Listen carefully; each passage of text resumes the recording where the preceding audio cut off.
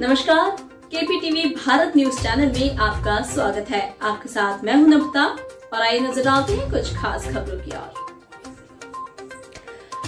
बांगरमऊ संडीला मार्ग पर ट्रक पलटने से 10 वर्षीय मासूम की मौत। यूपी हरदोई कासिमपुर थाना क्षेत्र के अंतर्गत संडीला बांगरमऊ मार्ग पर कलावा पुल के पास ट्रक पलटने से एक 10 वर्ष के मासूम बच्चे की दर्दनाक मौत हो गई। आनंद फानंद में कासिमपुर पुलिस को सूचना दी गई। मौके पर पहुँची कासिमपुर पुलिस ने राहत बचाव कार्य शुरू किया। प्राप्त जानकारी के अनुसार समीम पुत्र वशीम, जो की कलावा गाँव का रहने वाला था, जिसकी ट्रक की चपेट में आने से दर्दनाक मौत हो गई मौके पर राहत कार्य जारी है।